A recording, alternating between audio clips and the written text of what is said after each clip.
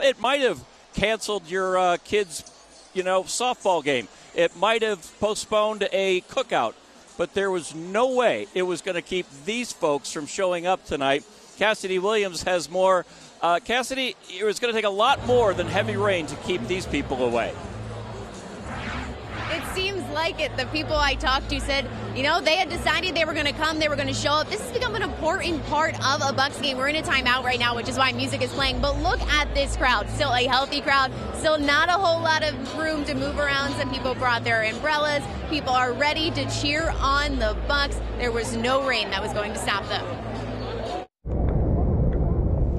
As storm clouds rolled in just before 4, Heavy rain and thunder sent Suns fans on the run, but Bucks fans were ready for when the skies cleared. Even if it's going to rain, it's just not going to stop them from needing our support inside, and that's all we're going to do is be here to support them. The Bucks organization kept a close eye on the storms.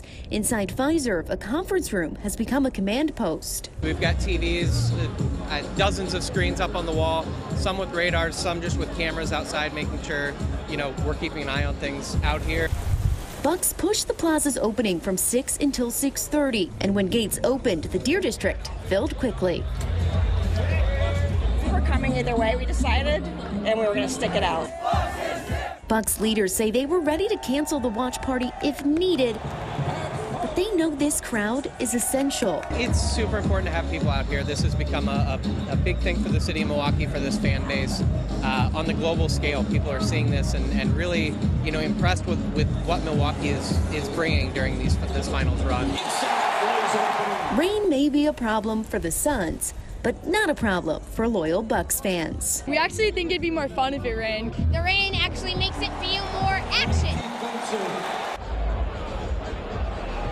Know if I agree with them on that part. Hopefully it stays dry here for all of these fans. Now, while these watch parties are free, the Bucks do recommend that you go online and RSVP.